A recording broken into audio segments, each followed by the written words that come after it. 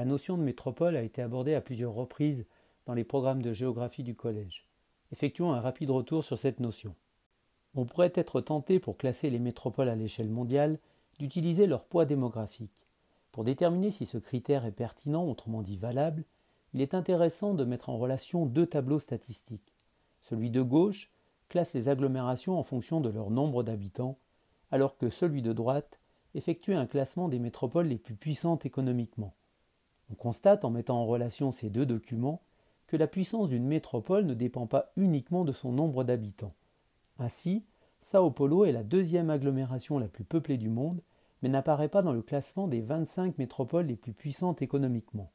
Au contraire, Londres est considérée comme la deuxième métropole mondiale la plus puissante économiquement, alors qu'elle ne figure même pas parmi les 20 agglomérations les plus peuplées du monde. Le critère démographique qui paraissait pourtant évident n'est donc pas déterminant. Une métropole importante à l'échelle mondiale concentre le pouvoir économique et financier. Les quartiers des affaires symbolisent cette puissance financière avec leurs gratte-ciel qui accueillent les sièges sociaux, autrement dit les bureaux des grandes entreprises internationales que l'on appelle également firmes transnationales. Une métropole mondiale est également une agglomération qui concentre le pouvoir politique. C'est pourquoi nous retrouvons dans le classement des 25 métropoles mondiales économiquement les plus puissantes de nombreuses capitales telles que Londres, Paris, Tokyo, Pékin ou bien encore Séoul. Une métropole mondiale dispose aussi du pouvoir culturel et développe une capacité à organiser des événements internationaux. Ainsi, Tokyo organise chaque année le Tokyo Game Show, événement incontournable dans le monde du jeu vidéo.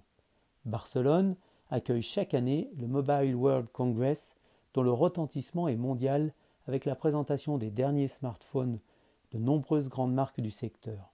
On peut également citer comme grands événements internationaux les JO que Paris s'apprête à accueillir en 2024. Enfin, toute métropole cherche à mettre en avant sa capacité d'innovation.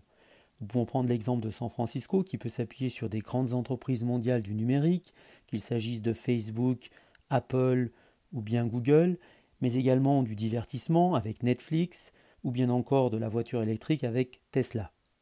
Envisageons maintenant ces métropoles à l'échelle mondiale. La grande majorité des métropoles mondiales sont situées dans les pays développés d'Europe, d'Amérique du Nord et d'Asie de l'Est et dans les pays émergents comme la Chine, l'Inde ou le Brésil. Les plus grandes métropoles mondiales forment ce que l'on appelle l'archipel mégalopolitain mondial. Ces métropoles fonctionnent en réseau, sont connectées les unes aux autres. Une métropole doit donc disposer de moyens lui permettant d'être connectée à ses homologues.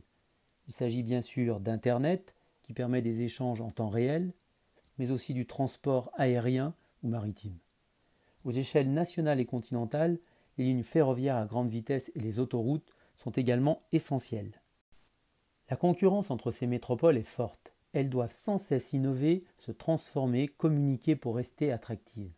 Cette étude de paysage de Shanghai, entre 1990 et 2010, nous montre bien à quel point la ville s'est transformée pour se hisser au rang de métropole mondiale.